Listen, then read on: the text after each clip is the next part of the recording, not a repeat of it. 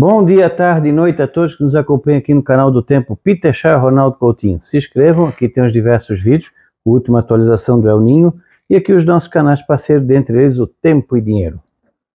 E vamos agora aqui, o pessoal que quiser nos ajudar no canal pode entrar aqui no YouTube, normal, né?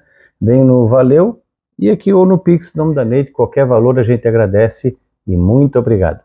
Segue no seu GPS Agrícola, uma importante ferramenta Domicom pode ser comprada com desconto, avisando que vira propaganda no canal do Tempo. Segue na Catarinense de Atuação na América Latina Propaganda.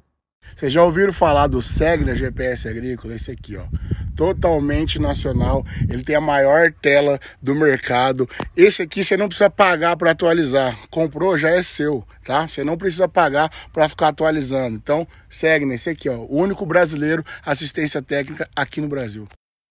Estamos aqui, o primeiro exemplo, vou mostrar até aqui o sul. Tem, a, a, infelizmente, voltou a ter chuva forte no Rio Grande do Sul, principalmente na metade sul e oeste, pancadas isoladas na metade norte, alguma coisa isolada aqui no oeste de Santa Catarina e no extremo sudoeste do Paraná, mas preocupa mais essa região aqui do Rio Grande do Sul. Vocês vão ver depois na previsão o que vem vindo aí pela frente. De hoje até o dia 11, então, de 7 a 11 nós estamos indicando o quê? Chuvas aqui mais entre Roraima, norte e oeste do Amazonas. Nessa área verde aqui, ó, pode ter aquelas pancadas isoladas de chuva. Pegando aqui a região de Manaus, o Pará, boa parte é mais sol, nuvens e pancadas isoladas, pouca coisa no Amapá. Alguma coisinha aqui na parte norte, norte e noroeste do Maranhão, entre São Luís e a divisa com o Pará. Essa parte do litoral sul do Pará, Foz do Amazonas, Macapá e Belém. Aqui, ó, norte do Tocantins, oeste do, do Maranhão, Nessa área cinza aqui, alguma chuvinha isolada. No norte do Tocantins também, alguma coisinha isolada de chuva. E aqui, ó, na faixa oeste é, do Mato Grosso. E aqui no Mato Grosso do Sul, principalmente entre hoje e mais ainda sexta e sábado, organiza uma frente trazendo um pouco de canal de umidade nessa direção. Pega aqui o Paraguai, o Paraná, o oeste de São Paulo e sul de São Paulo. Nessa grande área branca aqui, pouca chuva nesse período. Alguma coisinha aqui, ó, próximo ao Cerrado Mineiro do Café, o extremo oeste do Triângulo Mineiro, sudoeste e sul do, de Goiás. A metade leste do Mato Grosso até pode ter chuva, mas bem mal distribuída. Mesmo aqui na, na metade oeste, chuva também, mas mal distribuída, assim como aqui em Rondônia. Acre, mesma situação. De toda essa área aqui, a chuva é mais garantida aqui em Roraima, norte, noroeste e oeste do Amazonas. Nas outras, muitas áreas vão falhar. E aqui no, no Nordeste nós temos algumas pancadas perdidas no Ceará, pega aqui próximo a Ipu, centro-sul do Ceará, região próxima a Fortaleza, Nessa área cinza, algumas pancadinhas isoladas de chuva. O Piauí, praticamente nada. O Elefantinho fica mais a parte traseira, principalmente aqui de, de Natal. Passa por Recife, João Pessoa, Maceió, Aracaju e pega aqui a região de Salvador. Então, essa parte aqui, centro-oeste do Elefantinho, pouca chuva. Grande parte do sertão da Paraíba, grande parte do sertão de Pernambuco, Aqui, ó, Pernambuco, mais a parte leste do estado, pegando desde Garanhuns, Caruaru, em direção a Recife, Olinda, toda essa região pode ter algumas pancadas. Isso aqui é o acumulado de cinco dias, de hoje, quinta-feira, até segunda-feira. Então tem essas pancadas aqui, ó, pancadas isoladas principalmente nessa faixa leste, pegando todo o litoral da Bahia também. A parte norte, nordeste e centro da Bahia, algumas pancadas isoladas, talvez alguma chuva perdida na região de Irecê, Aqui mais ao norte, pouca chuva, grande parte da Bahia, tempo seco. Em Minas também, alguma chuva aqui no nordeste de Minas, Espírito Santo, pouquinha coisa no Rio. Aqui em São Paulo também pouca coisa, talvez entre sábado para domingo alguma chuva. No Rio, pouca chance. Norte e nordeste de São Paulo, pouca chuva. A Ilha do Café em São Paulo, sul de Minas, Cerrado Mineiro, Cerrado Goiano, pouco ou nenhuma chuva. Alguma coisinha aqui no extremo oeste do Triângulo Mineiro. Quando chega aqui de 7 a 16, nos próximos 10 dias, nós temos o quê? Um bom volume de chuva no Roraima, grande parte do Amazonas, principalmente a metade oeste, pega a região de Manaus, aumenta a condição de chuva aqui no Acre, aqui em Rondônia, aqui ó, nessa parte aqui, ó, como aqui vai até o dia 16, aqui vai ser uma friagem que vai ter, provavelmente essa chuva deve ser entre 12 e 15 eh, de agora de setembro, a metade oeste do, Amaz do Mato Grosso e um pouquinha coisa na parte leste. Pouquinha coisa aqui no Pará, mais aqui no extremo sudoeste, divisa com o Amazonas, pouca coisa ali na região do Amapá, alguma coisinha em Macapá, Belém. Essa parte aqui é chuvas bem irregulares. aumenta um pouquinho a chance de chuva no Maranhão, alguma coisa entre São Luís e divisa com o Pará, oeste do Maranhão, norte do, do Tocantins, praticamente nada no Piauí, pancadas bem isoladas no Ceará, mais isoladas aqui no Elefantinho, sempre aqui na faixa leste, ó, do Rio Grande do Norte, Paraíba, Pernambuco, Alagoas, Sergipe e a Bahia. Essa faixa leste aqui tem alguma chuva um pouco mais consistente. Até pode chover forte em alguns pontos aqui do leste de Pernambuco dentro desses 10 dias. Aqui no Alagoas também, menor chance em Rio Grande do Norte e Natal, e João Pessoa. Então, Natal, João Pessoa, Recife, Maceió, não dá para descartar alguma chuva forte dentro desse período e talvez aqui o Recôncavo Baiano também. Nessa área da Bahia, até pode aqui o Paulo Afonso, Jeremoabo, essa região aqui, pode ter alguma chuva isolada, Canudos, Alguma coisinha isolada nessa área aqui da Bahia, pegando aqui também em cima da Chapada. Até a região de Irecê, alguma coisinha. A divisa com Pernambuco, dificilmente, e a metade oeste da Bahia, pouca chance. Chuva perdida aqui no extremo sudoeste da Bahia, nessa área de Minas também, está indicando alguma chuva no sudeste e leste de Minas Gerais, onde nós teremos aí condições de chuva, pegando aqui ó, alguma coisinha aqui no, no, no café do sul de Minas, no Cerrado Mineiro também, aqui provavelmente 15 ou 16, alguma chuva nessa área que vai começar lentamente a mudar a chave. No Espírito Santo, pouquinha coisa no Rio, pouca coisa em São Paulo, mais no sul e extremo oeste do estado, quase nada no norte paulista, sudoeste de Goiás e sul, coisinha pouca, e norte do Tocantins, essa faixa aqui, ó, alguma chuva perdida começa. Mais garantida aqui, ó, forma um canal de umidade, uma boa chuva aqui no Mato Grosso do Sul, uma parte vai ser nessa sexta e sábado, e depois lá pelo dia 13 e 14. Paraná também, Mato Grosso, é, Paraguai, Sul e Oeste de São Paulo. Quando a gente olha as anomalias, nós vemos o quê?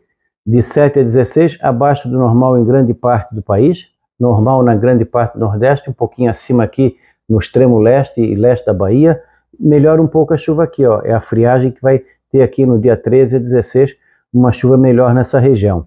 Quando chega de 12 a 21, continua com uma situação um pouquinho melhor nessa parte aqui da, do continente, pegando Amazonas, Acre, Rondônia, oeste do Mato Grosso, grande parte do país normal abaixo da média, grande parte do Nordeste normal, um pouquinho acima no leste do, do Rio do, do, do Nordeste.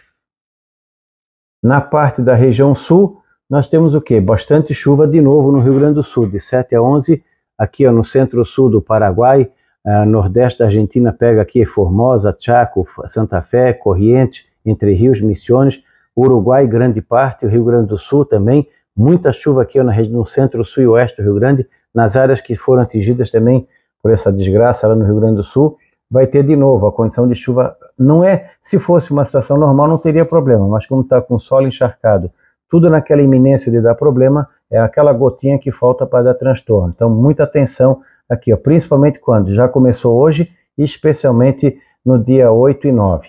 Santa Catarina, essa chuva vem mais agora, hoje alguma coisinha, mas mais no dia 8 e 9, é, alguma chuva, no dia 10, 11 já dá uma melhorada. No Paraná também, fica mais entre alguma coisinha nessa região aqui hoje e mais no dia 8 e 9 também, grande parte do estado. Na Argentina, pouca chuva, mas aqui talvez ali no dia 10, 11 passa uma frente e bastante chuva ou neve aqui na cordilheira, desde aqui de San Juan, Mendonça e aqui na região de Neuquén.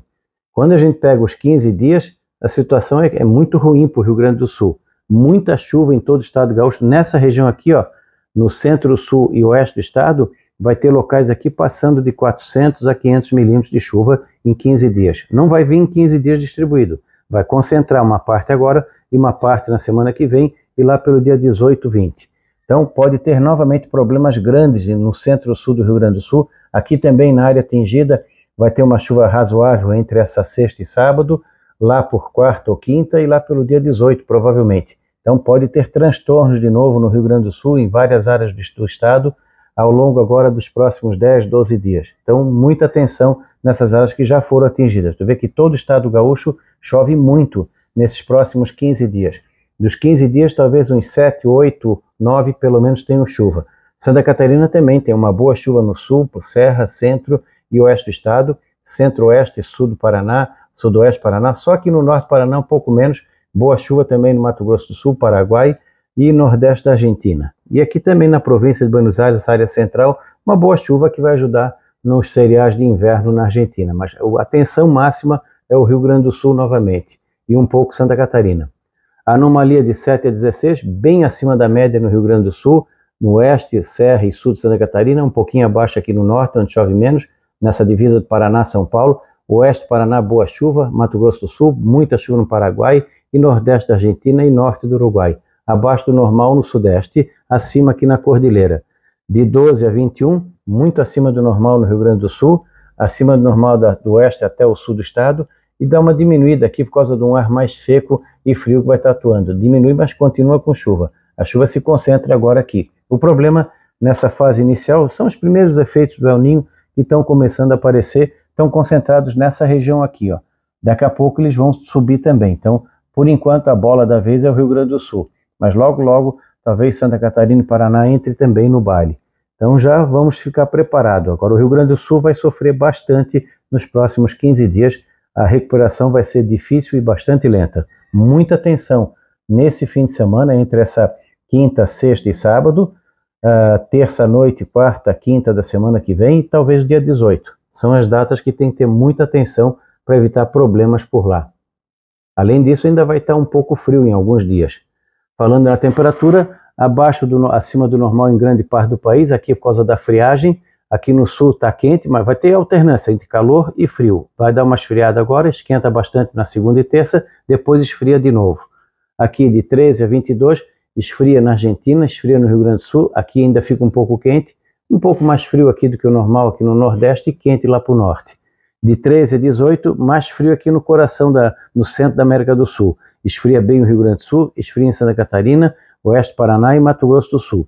Aqui nós podemos ter um frio forte ali entre o dia 14, 15 e 16 é, de setembro. Não dá para descartar se vai ter ou não geada, por enquanto ainda está um pouco longe, mas já é indicativo que muita oscilação nesse mês e muita chuva também. Vai ser um mêsinho bem complicado para a agricultura e para o pessoal da sociedade em geral, especialmente o Rio Grande.